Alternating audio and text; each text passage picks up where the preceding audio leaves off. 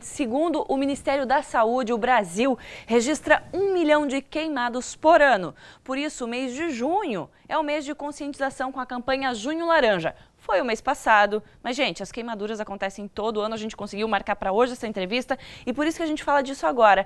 Eu recebo a enfermeira estomaterapeuta Rossella Schwarbach. Seja bem-vinda, Rossella. Obrigada. Tudo bem? Tudo bem. Eu tinha falado dermatologista, mas é enfermeira, tá, Isso. gente? Cuida dos queimadinhos.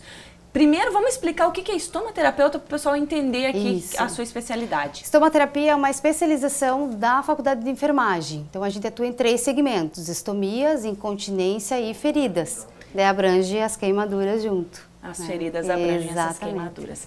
Você ela disse pra mim, a- às vezes a gente pensa, ah, queimadura é quando eu boto a mão na panela quente, me queimei com água, isso deve ser muito comum. Mas existem vários outros tipos de queimadura, né? E aí eu queria que você falasse dessas principais causas. Porque daí eu estava até procurando, até produtos químicos causam queimadura. Sim, Quais até são as principais? É, na verdade, são as queimaduras químicas, as, as queimaduras é, térmicas, né, por escaldaduras, tem as químicas por misturar componentes químicos. Ah, eu vou fazer limpeza na minha casa, quero misturar, né, que boa com alguma coisa e acaba ocasionando essas queimaduras, né? É, e é, as queimaduras do sol, né? Então, como as queimaduras elas têm vários processos, queimadura primeiro, segundo, terceiro grau. Então, as queimaduras elétricas, Claro. né? Então, por é, colocar o dedinho na tomada, né? Ou mexer num fio de alta tensão. Então, são praticamente esses três tipos, né? As queimaduras é, térmicas, as químicas e as elétricas. Elétricas.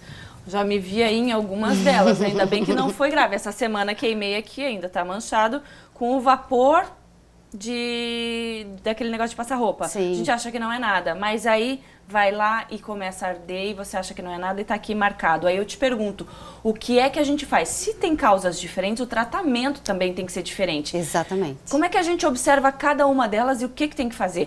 Porque a maioria das vezes as pessoas correm para baixo da torneira ali colocar a queimadura. Uhum, é isso mesmo. Sempre assim? É. Em qualquer A- situação? Isso, porque a queimadura, é, ela tem os estágios, primeiro, segundo e terceiro grau, né? Então, quando ela tem o primeiro grau, é aquela queimadura do sol, que a gente vai pro sol, se queima e tem as consequências. A queimadura, quando ela forma uma bolha, já é uma, uma queimadura de segundo grau. Então, ela já pegou mais, uma parte mais, não só epiderme como o derme. E a terceiro grau, que são as mais profundas, que podem chegar até, até o osso. Né? Nossa, então, até o osso. Até o osso. Então, pra gente ver, quer dizer, que daí já é algo mais corrosivo, é algo que realmente penetrou na pele e o negócio é bem Sim, mais grave. e as consequências são bem Ah, piores, né? é, Numa terceiro grau, porque claro. ela vai, dependendo do local, tirar a função. Então, da mão, né? Do rosto, pescoço, enfim. Daí tira, a, a pessoa acaba perdendo função também, Sim. né? Então, dependendo do grau da, da queimadura, vai ter um tipo de tratamento. O ideal pela Sociedade Brasileira de Queimaduras é você queimou é embaixo da água fria mesmo. Até que né? depois seja medicado. Exatamente, até procurar um centro de referência ou um profissional especializado para fazer o tratamento subsequente. Sim, e Rosela, agora a gente entra nos mitos e verdades. O pessoal adora remedinho caseiro para enfiar em cima da queimadura e achar que é milagre. Pasta de dente é uma delas, Exatamente. borra de café, café, pó de café.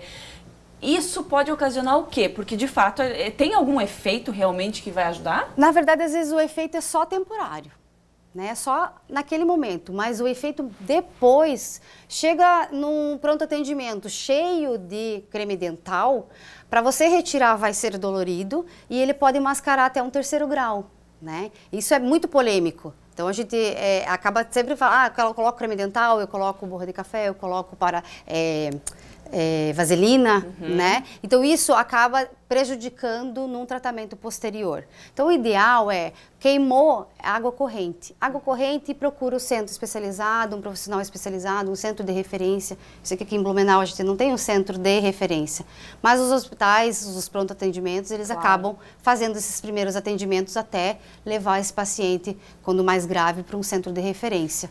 Tá? E o pessoal que gosta de, ai, queimou, vou colocar o gelo em cima. Não, o ideal é água corrente fria, tá?